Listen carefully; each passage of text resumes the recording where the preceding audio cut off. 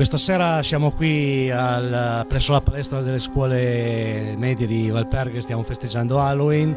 organizzata dalla Proloco Valperga. Abbiamo iniziato sabato con l'intaglio delle zucche con laboratorio con i bambini che hanno intagliato tutte le zucche e si sono divertiti molto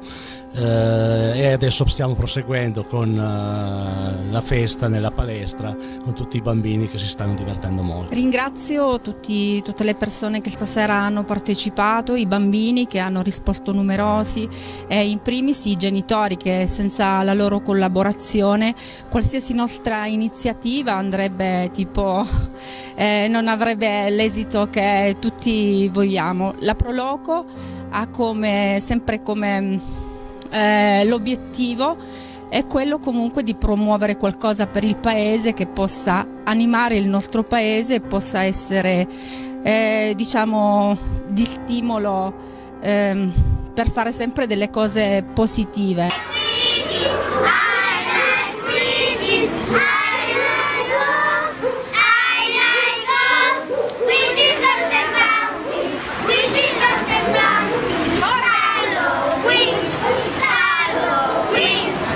Allora, nel continuare quello che abbiamo fatto sabato con l'intaglio delle zucche e quant'altro qua in, nella palestra comunale di, di, Valperga, oggi per le vie del paese abbiamo dato veramente um, gioia al paese, eh, eravamo tanti, tanti bambini, tanti, tanti, adulti insieme che li accompagnavamo e abbiamo fatto un giro di diverse case, non siamo potuti passare da tutti perché il tempo era, era breve, quindi abbiamo dovuto fare quello che potevamo e è finita qua questa festa di Halloween cioè sta finendo in questa serata che tutti insieme abbiamo fatto un banchetto così tra amici e un brindisi e quindi niente di che, è stata solo una cosa positiva nel vedere tutti questi bambini, queste famiglie raggruppate una volta qua in Valperga, è stata veramente una bella soddisfazione, ringrazio chi ha avuto queste idee e quindi speriamo che ce ne siano altre. E nel ricordarvi che domenica 5 alle ore 14.30 in Piazza Unità d'Italia ci sarà solenne